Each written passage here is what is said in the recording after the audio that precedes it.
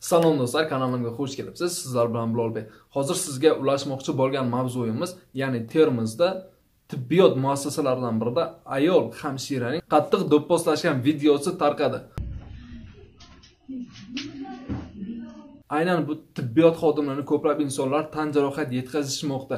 Agar har bir inson shunday tibbiyot xodimlarini kaltaklashsa, uraverishsa, bizni davolaydigan qaysi inson qoladi? Hech kim bu tibbiyot sohasiga aralashmay qo'yadi.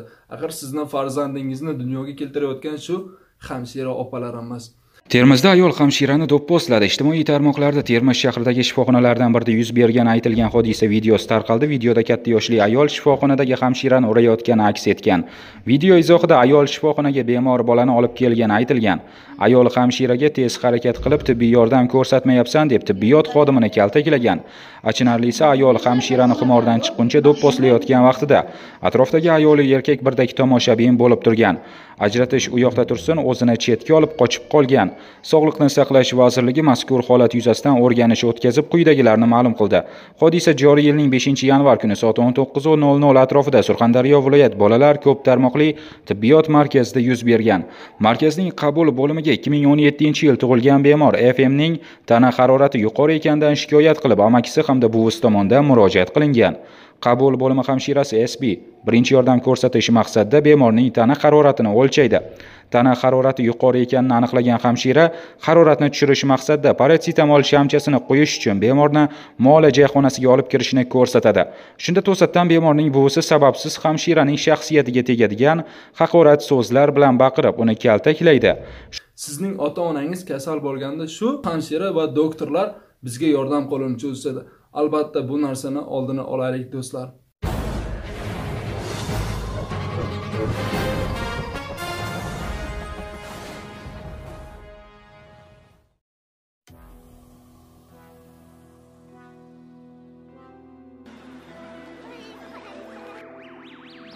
Mahliyo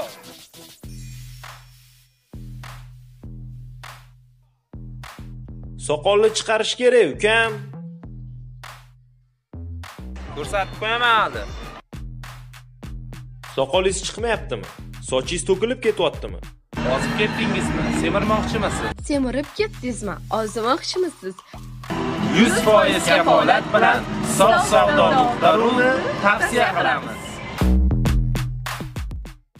Va bundan tashqari UzAuto Motors Cobalt, Spark, Gentra va Nexia 3 mashinalarini chiqarishni 2022 dan 24 gacha taqiqlab qo'ymoqda.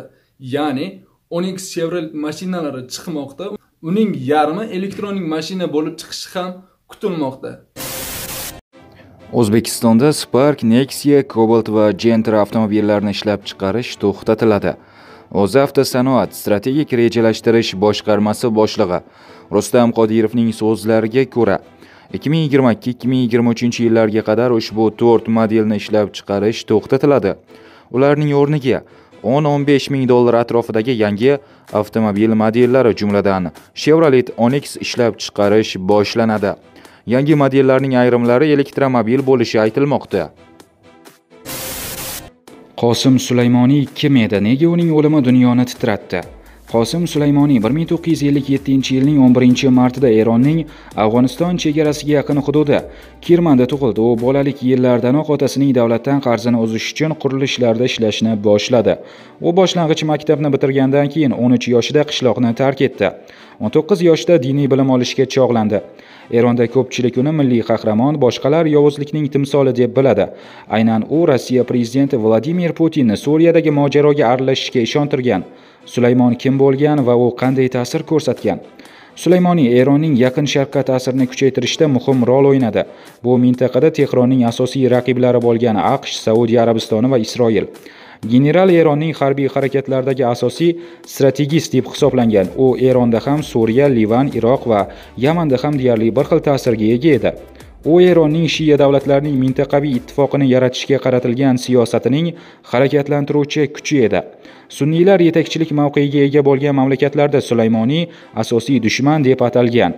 General sulaymoniy suriya urushidagi kuchlar muvozanatini bashar asad foydasiga o'zgartirib eronning iroqdagi ta'sirini kuchaytirdi. U iroqda aqshning yuzlab askarlarini o'ldirganlikda va isroilga hujumlarda ishtirok etganlikda ayblangan. U mintaqadagi eng samarali harbiy razvedka xodimi deb tan olingan va eronning oliy lideri ali hamaniyning o'ng qo'li bo'lgan. Aqsh hukumati o'tgan yili al qudusni terroristik tashkilotlar ro'yxatiga kiritgan. 2017 yilda mamlakatda generalni prezidentlikka nomzod bo'lishga da'vat qiluvchi harakat paydo bo'ldi. Ko'pchilik agar u saylovda g'alaba qozonsa islom inqilobining himoyachilar korpusi deyarli cheksiz kuchga ega bo'ladi degan xavotirda edi. U qattiqqo'llar va rejim tarafdorlari orasida mashhur bo'lgan ammo boshqa aholi orasida u qadar mashhur bo'lmagan. Sulaymoniy bir tomondan ishid jangarilarga qarshi muvaffaqiyatli kurashgani uchun e'tirof etilgan bo'lsa boshqa tomondan u suriyadagi o'lim uchun javobgar deb topilgan shuningdek amerika harbiy inshootlari va aqshning yaqin sharqdagi kalatsiya bazalariga hujumlarda ishtirok etgan. Markaziy razvedka boshqarmasining sobiq xodimi jon magvayr 2013 yilda uni yaqin sharqdagi eng nufuzli shaxs deb atagan. Uning qo'shinlari 2011 yildan beri davom etayotgan fuqarolik urushida suriya prezidenti bashar al assadni qo'llab quvvatlagandan beri sulaymoniyning ta'siri kuchaygan. Al qudus qurolli guruhlariga ishidni yengishda yordam bergan. Sulaymoniyning qizi aqsh va isroil uchun qora kunlar kelganini ma'lum qildi. O'ldirilgan eronlik general qosim sulaymoniyning qizi zaynab otasining dafn marosimida aqsh va uning ittifoqdoshi isroil uchun qora kunlar kelganini ma'lum qildi. Aqldan ozgan tramp otamning shafqatsizlarcha o'ldirilishidan so'ng hammasi tugadi deb o'ylamang deydi zaynab sulaymoniy. Eslatib o'tamiz 3 yanvar kuni pentagon bag'dod xalqaro aeroporti yaqinidagi marraga avia zarba berdi. Hujum oqibatida eronning eng nufuzli generali qosim sulaymoniy halok bo'ldi. Aqsh uning boshini 10 yil qidirilgan bin lodinniki bilan teng baholagandi 25 million dollar. Suriya va iroqdagi qator hududlarni asta sekin boy bergan al bag'dodiy uch yil davomida ming yashirinmasin. Oxir oqibat aqsh harbiy havo kuchlari aviazarbasi paytida o'zini portlatib halok bo'ldi. Qosim sulaymoniy 2020 yilning 3 yanvarga o'tar kechasi general qosim sulaymoniy bag'dod aeroporti yaqinida aviazarba natijasida o'ldirildi. Ammo amalda aqsh bilan bevosita urush jarayonida bo'lmagan eronning ikkinchi raqamli davlat arbobi uchinchi bir davlatda hech bir sud va tergovsiz yo'q qilinishi turlicha baholandi. Kutilgandek eron bu yo'qotish uchun ayovsiz qasd olinishini bildirdi. Aqsh prezidenti esa eronning harbiy harakat boshlashi bu davlat uchun halokatli bo'lishi haqida ogohlantirdi. Hozir har ikki davlat jangovar shaylikni kuchaytirgan va hatto ayrim ekspertlar mavjud vaziyatni uchinchi jahon urushi oldidagi holat deya baholashmoqda.